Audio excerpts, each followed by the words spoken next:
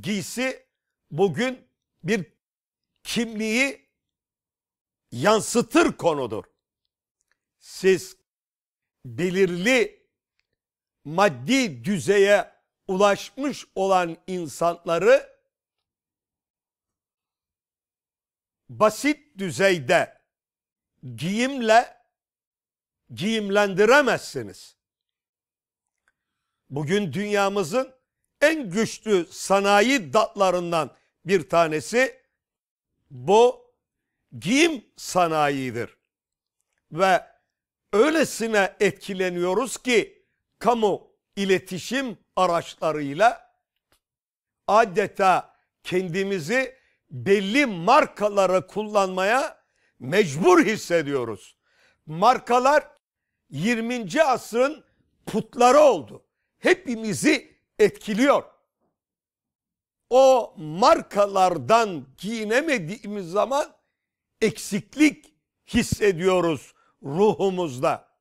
Ve bu marka giysileri giyerken farklı olduğumuzu kanıtlamaya, üstün olduğumuzu ispatlamaya çalışıyoruz farkında olmadan.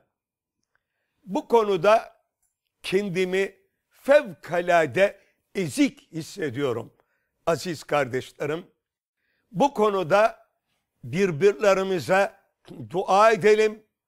Rabbim bizleri başkalarının bizleri istismar etmek için oluşturdukları marka düşkünlüğünden muhafaza buyursun.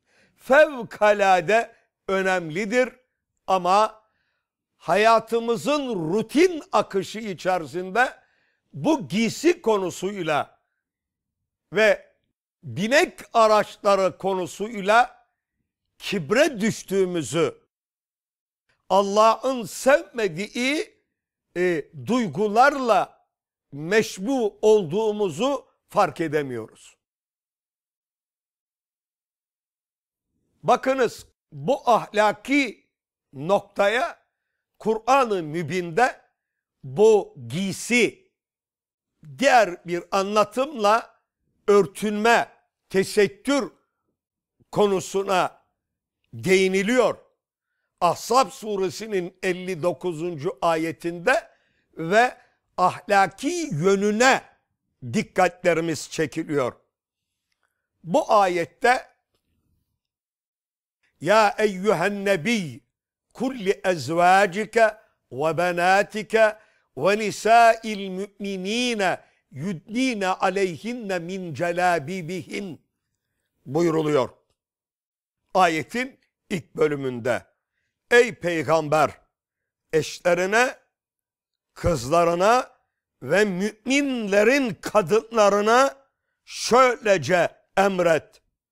Vücutlarını kuşatıcı giysilerini baştan aşağı sarkıtarak örtünsünler. Zalike edna en yurafna fela yu'zeyn.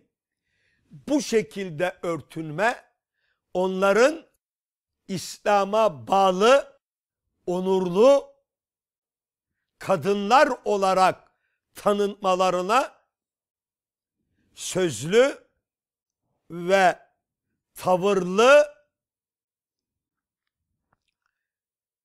tecavüzlere maruz kalmamalarına en uygun olan haldir.